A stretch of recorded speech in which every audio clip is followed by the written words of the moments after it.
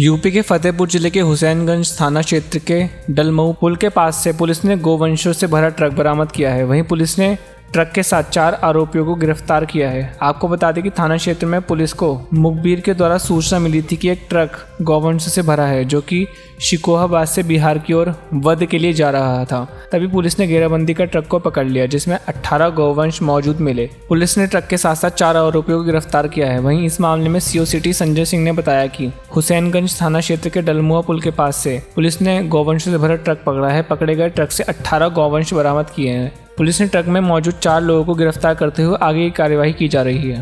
जनपद फतेहपुर में थाना हुसैनगंज पुलिस ने डलमऊ रोड पर गौवंश से भरा ट्रक पकड़ने में सफलता प्राप्त किया है। ट्रक में 18 गौवंश बरामद हुए हैं। ट्रक चालक समेत चार तस्कर गिरफ़्तार किए गए हैं।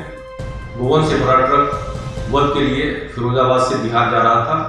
इस संबंध में थाना हुसैनगंज पर अभियोग पंजीकृत करके विधि कार्रवाई की जा रही है।